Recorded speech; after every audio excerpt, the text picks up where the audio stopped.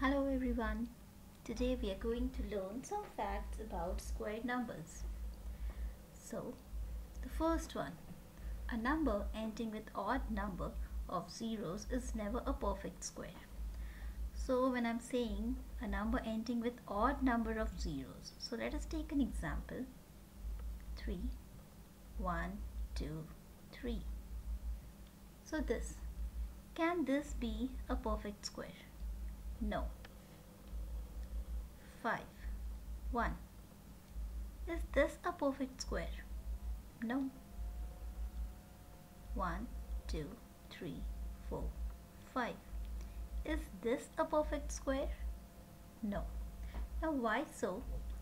So, let us take some normal numbers. So taking 20. Now the square of 20, it is 20 multiplied by 20.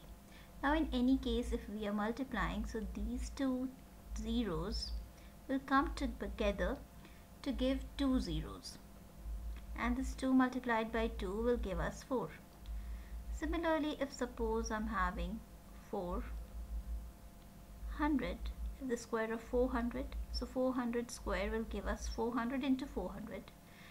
Now these two zeros with both the fours will give us 1, 2, 3, 4. 4 zeros and 16 over here.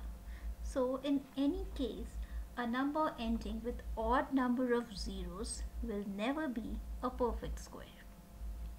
Let's move to another fact. The number ending with 2, 3, 7, 8 are not perfect square.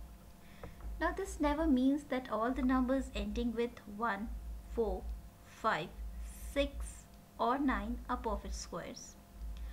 But number ending with these are never a perfect square. Now let us understand why this is so. So if we have any number, so we need to take like suppose if it is 31 and 31. So for this number, the unit place always has to be 1 multiplied by 1 which is 1. So similarly let us understand this with the different examples.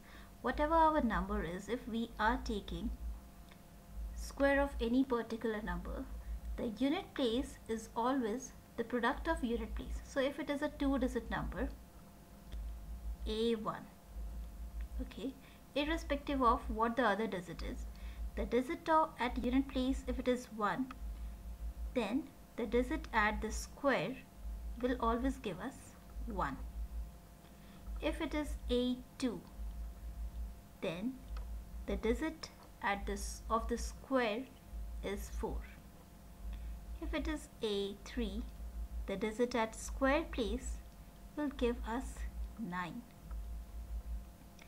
if it is a4 the digit at square place will give us 6 because the square of 4 is 16 we are taking the 6 over here and this 1 will get carried forward. And it will be the part of the remaining number.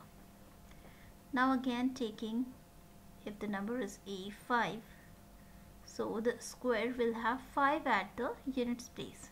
Again because the square of 5 is 25 we will write the 5 over here and 2 will get carried to the rest of number.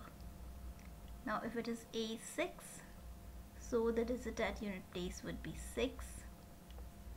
If it is A7 so the digit at units place will be 9.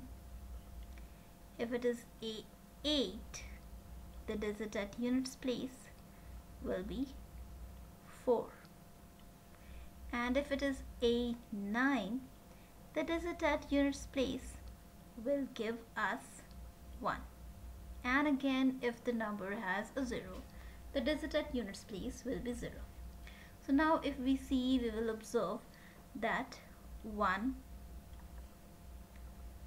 4 5 6 and 9 these are the digits which we see in a perfect square at the units place and of course 0 but in any case 2, 3, 7, 8. If these are the digit at units place, the number is not a perfect square. So yes, these are the two facts for today.